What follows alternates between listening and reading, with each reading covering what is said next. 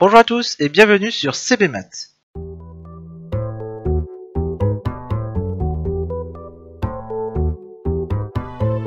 Problème de l'avant 16.8. L'année 2016 est une année 2 fois 3 pour 1, puisque l'un de ces chiffres est égal au double de la somme des trois autres chiffres. 6 est égal à 2 fois 2 plus 0 plus 1. Combien d'années 2 fois 3 pour 1 aurons-nous avant l'année 2012 Vous pouvez mettre en pause la vidéo pour résoudre le problème.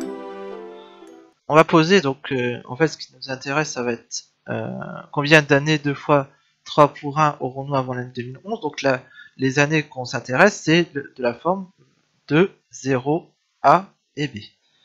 Donc il faut que l'un de ces chiffres est égal au double de la somme des trois autres. Donc, en fait, ce qui va nous intéresser, c'est 2 plus 0 plus A, 2 fois 0, 2 fois 2 plus 0 plus A, ou 2 fois 2 plus 0 plus B.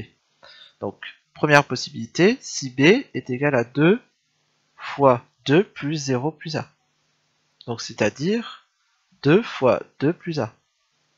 Ou encore 4 plus 2A. Donc, ça veut dire que B-4 doit être un multiple de 2. B-4 doit être un multiple de 2. Et bien entendu, donc B-4 divisé par 2 est égal à A.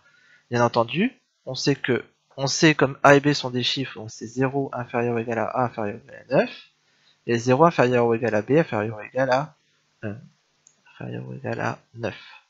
Donc il faut trouver un nombre, euh, un chiffre B tel que si on, fait moins 4 et on divise par 2, on trouve un, autre chiffre A. Donc alors, 9 moins 4, 5, ça va pas. 8 moins 4 divisé par 2, donc B est égal à 8. A égale à, ça fait 2.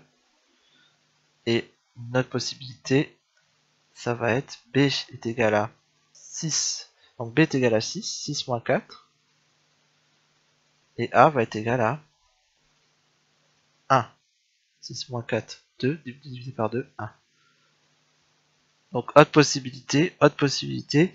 Donc, si B est égal à 0, si B est égal à 4, B est égal à 4, alors A va être égal à 0.